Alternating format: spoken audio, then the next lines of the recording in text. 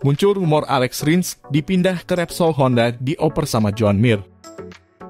Namun Lucio Cicinilo bos LCR dengan keras membantahnya.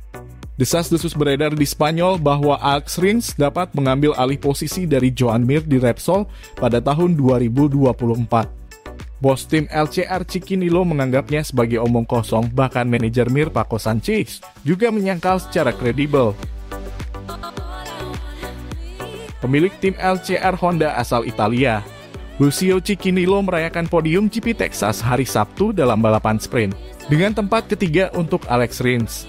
Dan kemenangan balapan utama MotoGP LCR pertama hari Minggu sejak seri Argentina 2018 dengan Calcrat Low Hasil, mendatang barunya Alex Rins meningkat ke posisi ketiga dunia yang sama sekali tidak terduga di klasemen kejuaraan dunia.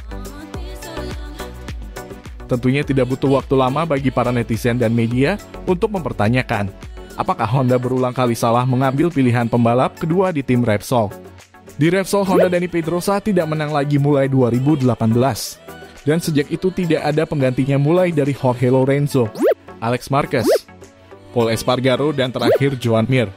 Setelah tiga seri pertama, rekan setim baru Mark Marquez, yakni Joan Mir berada di posisi ke-19 dengan 5 poin, setara dengan test rider Ducati Michel Pirro, dan tertinggal 42 poin di belakang Rins.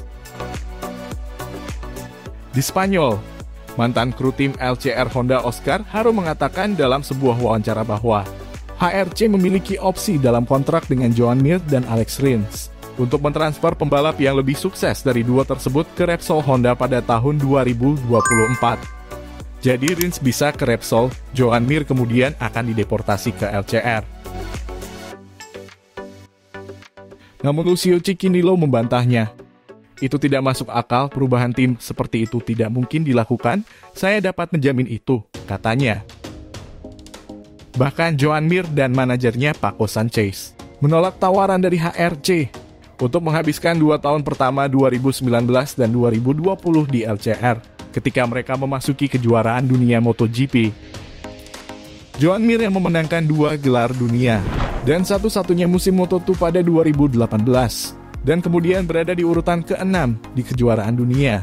Benar-benar ingin beralih ke tim pabrikan MotoGP saat naik kelas, bukan di tim satelit dia lebih memilih Suzuki X-Star dan memenangkan kejuaraan dunia di sana pada tahun 2020. Namun setelah Suzuki mundur, manajer HRC menawarinya tempat bersama Marquez. Manajer Joan Mir Paco Sanchez mengonfirmasi anak didik yang memiliki kontrak 2 tahun dengan HRC di Repsol Honda yang tidak dapat diganggu-gugat. Oscar Haro tidak tahu tentang itu, ujarnya ketika ditanya oleh wartawan. Jadi yang benar yang mana? Namun apakah benar Honda Repsol salah pilih pembalap lagi? Apakah Alex Rins yang seharusnya di Repsol Honda? Bukan Joan Mir. Kita lihat saja hingga akhir musim ini.